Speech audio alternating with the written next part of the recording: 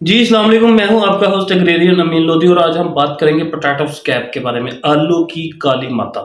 जैसे ही सितंबर का महीना स्टार्ट होता है तो आलू के काश्तकार वो देखना शुरू कर देते हैं कि हमने इस दफ़ा आलू की कौन सी एग्ज़ाम लगानी है कौन सी हमने ट्रीटमेंट यूज़ करनी है कौन कौन सी खाते हैं उनका एक प्री प्लान होता है, क्योंकि वो आलू की फ़सल पर कंप्रोमाइज़ नहीं कर सकते। आलू उनकी मोस्ट फेवरेट क्रॉप होती है। अगर हम पाक पदन साहिवाल दीपालपुर काड़ा ये जितना भी बेल्ट है, ये पोटाटो के बारे में बहुत मशहूर है और बहुत अच्छे अच्छे इधर पोटाटो के ग्रोर्स मौजूद हैं जो कि थाउज़ेंड के हिसाब से वो जो अपने एकड़ के हिसाब से वो लगाते हैं।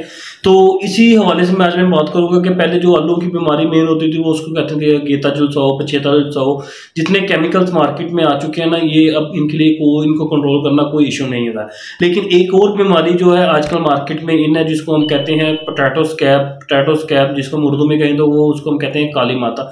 उसको कैसे कंट्रोल किया जाए? क्योंकि उस सबसे मेन वजह ये है कि जब ये बीमारी हमें पता चलती है, हमारे पोटैटो में आ चुकी होती है।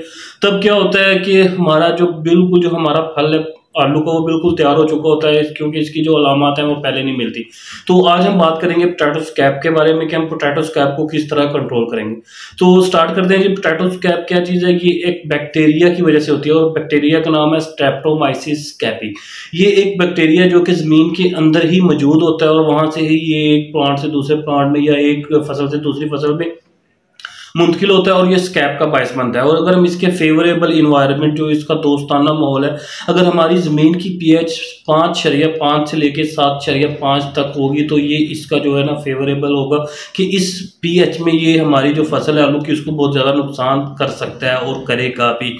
ठीक है, अगर हम इसके स्कैप की इलामत की बात करें तो ये सिर्फ़ तब हमें देखने को मिलती हैं जब हमें जो पौधा है आलू का, वो बिल्कुल तैयार हो चुका था, नीचे जो है बिल्कुल आलू बन चुका तो उसमें क्या होता है कि हमारे आलू के ऊपर बहुत सख्त खुरदरे धब्बे बन जाते हैं, जिनको हम कहते हैं स्कैब वो क्या होते हैं? मुख्तलिफ़ किस्म के होते हैं, मुख्तलिफ़ शक्ल के होते हैं, जैसा कि आपको पिक्चर में दिखाया जा रहा है। ये सारी स्कैब्स की अलामत है। अब आते हैं हम इसके कंट्रोल की तरफ़। इसको कंट्रोल कैसे करते हैं? क्योंकि मैंने आपको बताया, ये जो बैक्टीरिया स्टेप्टोमाइसिस स्कैबिस ये ज़मीन के अंदर मौजूद होता है। ठीक है तो सबसे बेहतरीन हल इसका यही है कि आपने क्रॉप रोटेशन करनी है। क्रॉप रोटेशन मीन कि अगर जिस एकड़ में आपका पोटैटो स्कैब बहुत ज़्यादा आ रहा है, काली माता बहुत ज़्यादा देखने को मिल रही है, आपने उस एकड़ फिर एक या दो साल आपने उसके अंदर आलू नहीं लगाना। इससे क्या होगा कि जो जितने भी जो जगह सीम है पोटैटो स्कैप के वो ज़मीन के अंदर होंगे, वो ख़त्म हो जाएँगे और जैसे ही दो साल बाद आप दोबारा पोटैटो लगाएँगे तो उस पर आपको स्कैप देखने को नहीं मिलेगा। इसके बाद आप ये भी कर सकते हैं कि अगर जो किसी भी फ़ील्ड का जो मुतासरा होता है, मुतासरा बीज है, आलू के ऊपर आपको स्कैप की अलामत नज़र आ रही हैं, उसको आप एज ए बीज इस्तेमाल ना करें। और उसके बाद तीसरी जो है, चीज़ है, वो है कि आपको सीड ट्रीटमेंट कि अगर आपने सीड ट्रीटमेंट कर ली है, जिसमें आपने बैक्टीरियासाइड भी यूज़ किया फंजीसाइड भी यूज़ किया ये क्या करेगा कि जो उसके जरासीम है, उसको सप्रेस कर देगा, कम कर देगा, जिससे जो स्कैब है, वो आपकी कम हो जाएगी।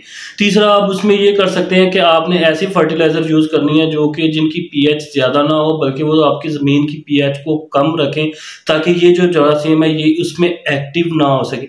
सबसे जो अच्छा कंट्रोल है वो है क्रॉप रोटेशन का, जो मैंने आपको पहले नंबर पे बताया था, जिसे जरासीम मुकम्मल तौर पर तलफ हो सकता है।